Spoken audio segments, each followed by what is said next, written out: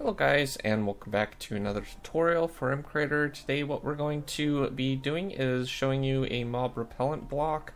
Our unit, I've called it that because it basically pushes the entity in a direction that the block is facing. So uh, it's powered, so it requires fuels. As you can see I have a whole bunch of coal in my inventory, so we'll be powering some of this up. And if we uh, just carve out a section like this. We can place down some blocks like so.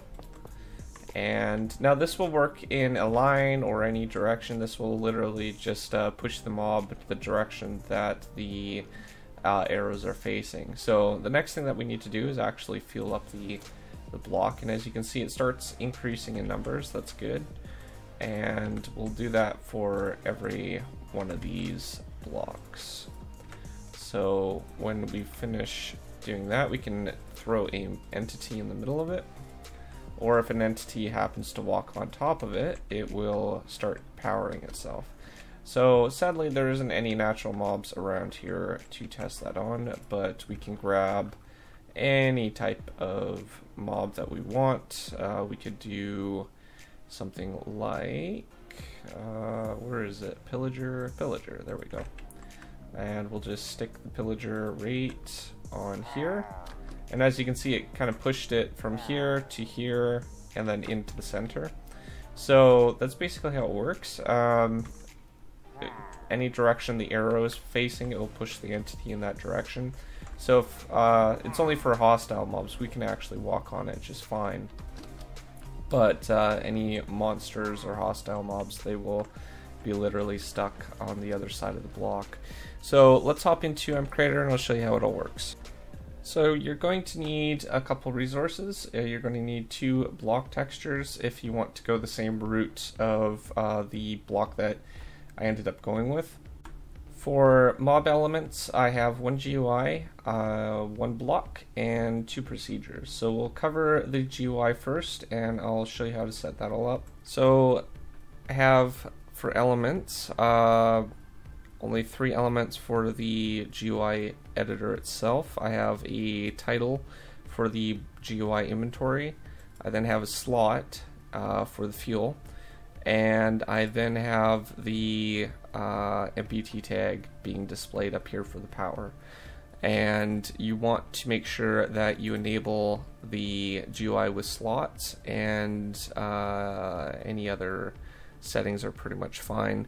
Now for the um, two text based things, I have set offset the uh, grid to 28 and that's what I generally use for text is uh, offset by uh, Y28 and for the slot I did uh, offset by uh, 30, 33 so those are the two numbers that I basically set up that uh, there's no procedures or anything in here. It's just a simple GUI.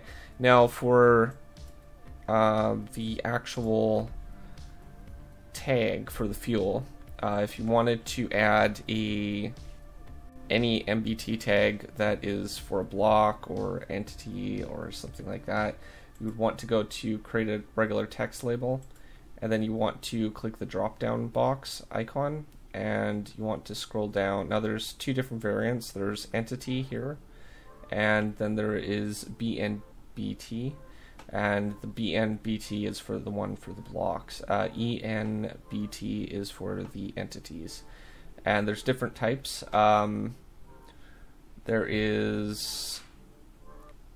Let's see if I can read that. There is uh, text, logic, integer, which is solid numbers, and numbers, which is uh, also includes the point form. So what I've gone with is just a simple int integer. Now before you create the actual title, uh, you want to go one arrow back and then you want to delete, delete everything that says uh, tag name and then you want to put your NBT block uh, tag name in here. So in my case, I, I have um, device fuel. And then now that that's also case sensitive, so you want to make sure that it's exactly the same way. And then you can change the color and all that and just click OK and then you can drop it down and it will display your NBT fuel. So that's pretty cool.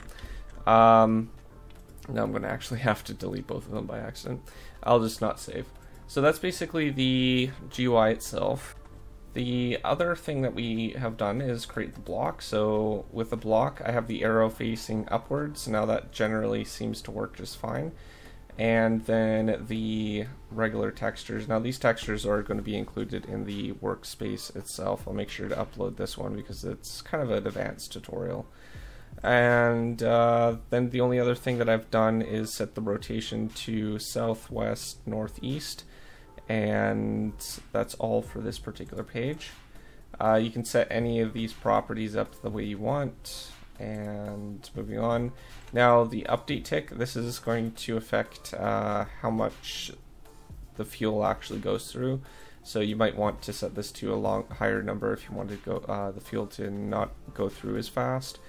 Uh, and any of these other properties are basically anything you can change. Uh, you will need NBT uh, enable the inventory for the tile block, so make sure this is checked. You want to select your GUI, and then you want to make sure you'll be able to open it, so check that box. And if you only have one fuel slot, then set this to 1.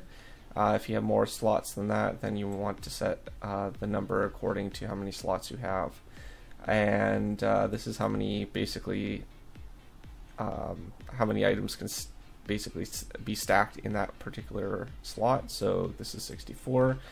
And you can leave these enabled or disable them. Either way, it's okay. But I suggest keeping this one uh, enabled because then it will drop the fuel if it's broken. And uh, lastly, for your fuel slot, just make sure that uh, nothing can be pulling out the uh, actual fuel because that would be probably bad. So you want to allow it to go in, but you don't want it to be taken out. So just set the slot slot number to to the uh, cording slot that you want to disable for items being taken out of. Uh, moving on, there is no fuel or um, fluid energy triggers. We have two triggers. Um, we have a update tick, which uh, handles the uh, fuel usage and the fuel gaining. And then we have the when entity walks on block, which basically covers the procedure to basically move the entity.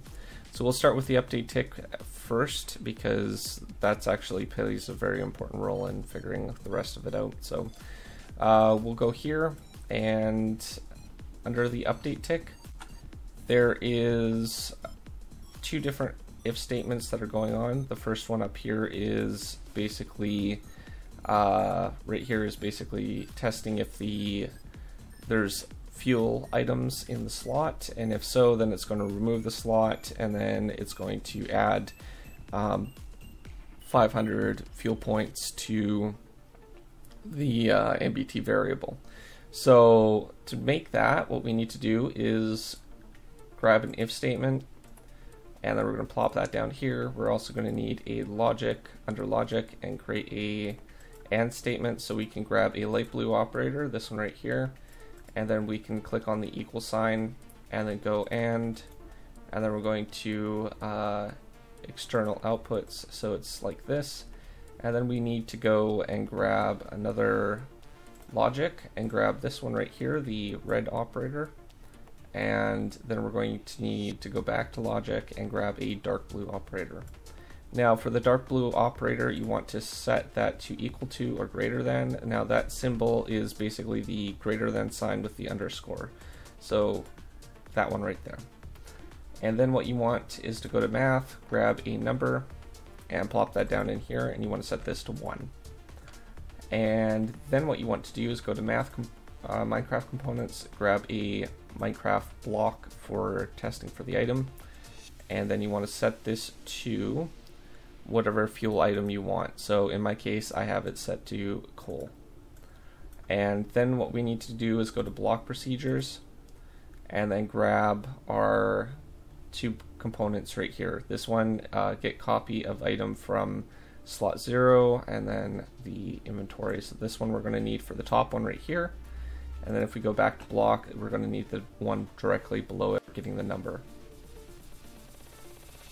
So when you have these two blocks uh, set up, uh, then you can move on to removing the items. So let's go back to block.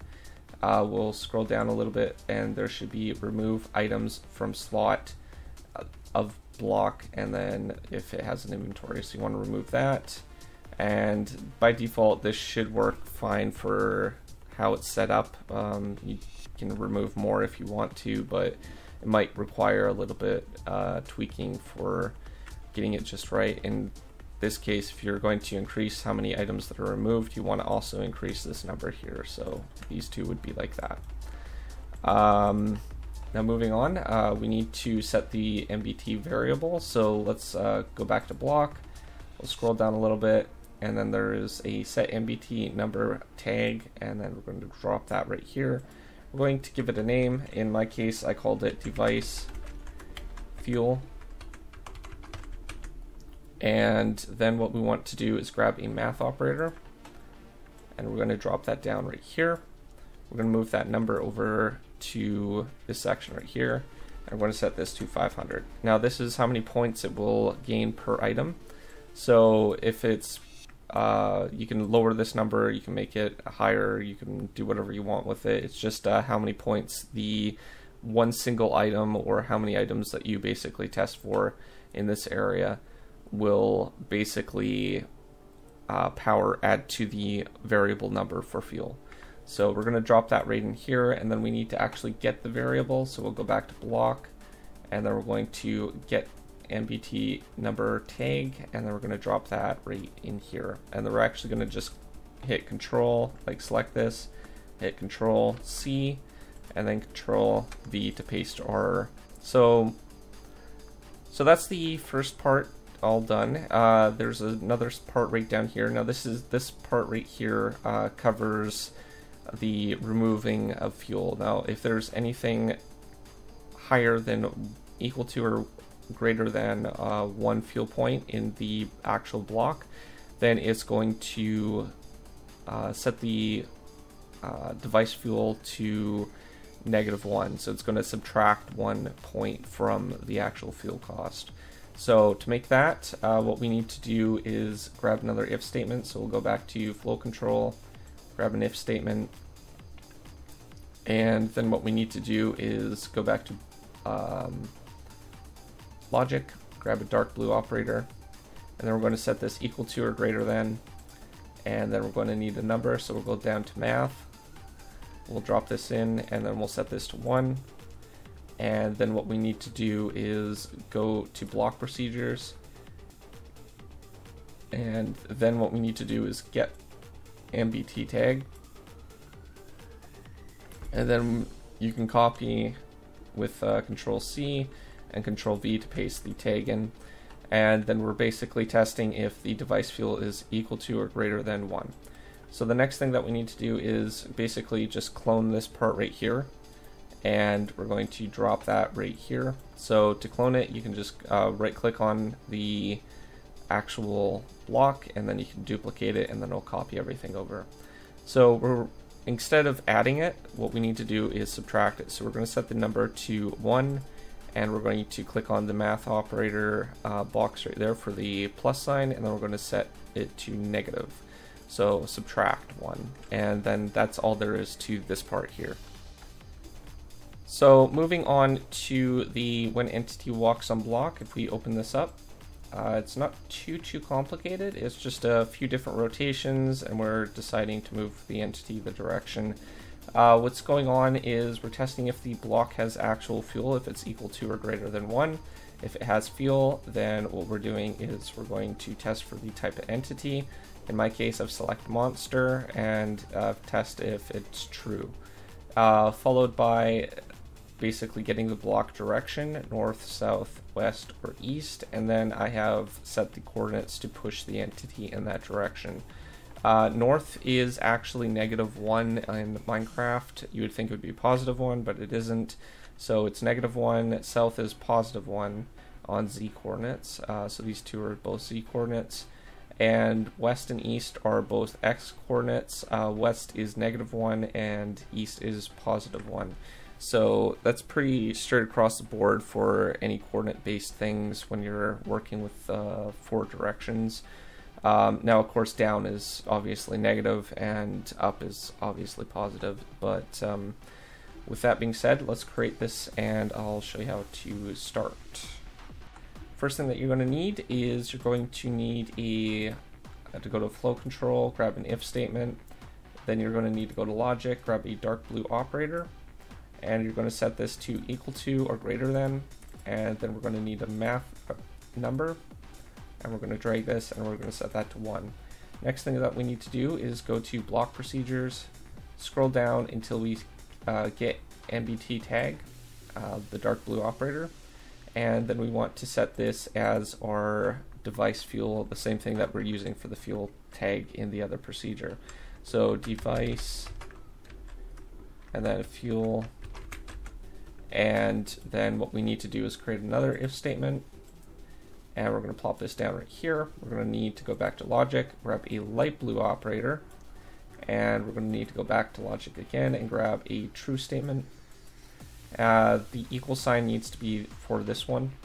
And then what we need to do is go to entity, and somewhere at the bottom of all this um, procedure blocks, you're going to find one that says is event slash target entity subtype of, and then entity ageable. So we want to grab that and drag that onto here. And then what we want to do is scroll down until we see monster, which is way at the bottom here. Um, it's not really alphabetical order, but uh, you want to select the monster one. And then we need to create another if statement, so we'll go back to flow control. And then we're going to grab the third type of if statement. We're going to drop that down here. We're going to click the gear icon and then we're going to drag and drop two more if else statements onto the bottom of it. Now after we've done that we need to go back to logic, grab a orange operator, and then what we need to do is go to block and then we need to go down to get block at uh, get block direction and drop that down right here and then what we're going to do is grab a go to Minecraft components and then grab a direction variable or direction block. So we need to set the first one to north and then we're going to set the next one to south and then we're going to set the next one to east or pardon me west and the next one to east. So now that we got all that set up, we need to actually use the movement vector to basically push the entity in the direction that we want to, or push the direction that the entity is actually facing. So to do that, we need to go to Entity Procedures and scroll down until you find uh, Movement Vector, which should be somewhere around here. And it says set event slash target entity movement vector 2 and then Vx and then a number Vy, a number, and then Vz. So this is act the V actually stands for velocity and uh, the y, z, and x is obviously the coordinates. So we're going to drag that, and then we're going to plop that down here. We're going to duplicate this uh, all four times. And then what we're going to do is we're going to set up our coordinates for the actual variables. So we can use the subtract sign as long as there's a number. So I basically set north to negative 1, and you want to set uh, south to positive 1 for both z coordinates. Moving on to west, you want to set this to negative 1, and to east, you want to set this to positive 1. And that's all there is to that particular block. So that's all done. So again, I will make sure to include the workspace in the uh, on my in the description, and it'll go directly to the project page for this project. Uh, all the files for the textures, uh, procedures, and workspace, as well as any models that generally that I have sometimes in the uh, workspaces are al always included in the actual uh, workspace uh, files and stuff like that. So you're more than welcome to download that from Google Drive. Uh, from my project page. So with that being said, if you have any suggestions on what I should do, uh, feel free to let me know in the comments, and I will uh, definitely try to figure those, some of those out when I have some time. If you're new to my channel, don't forget to subscribe, comment down below, rate the video, and I'll see you guys next time. Thanks for watching. Peace out.